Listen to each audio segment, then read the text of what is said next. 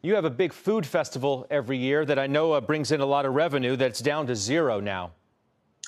It is, sadly. It is. We just had to cancel it, as you had said. And we're hoping that things look better down the road. We can bring it back again. We're talking $150,000 uh, perhaps that you, you would have lost this year.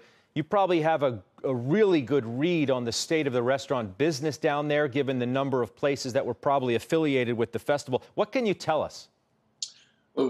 That is true. We have over 60 to 70 restaurants that are participating with this event with Restaurant Week that we throw twice a year. And the majority of them right now are scared, um, not just for the lack of being able to make, make money, but basically for, you know, what's happening in the health scene. Yeah. How's the industry going to look on the other side of this, do you think? Uh, that's going to be, I, I don't know. Um, you know, right now everybody's just trying to follow the guidelines, get through, and see what this disease is bringing to us, what the virus is bringing. Um, it's going to really depend on you know how the trend is going.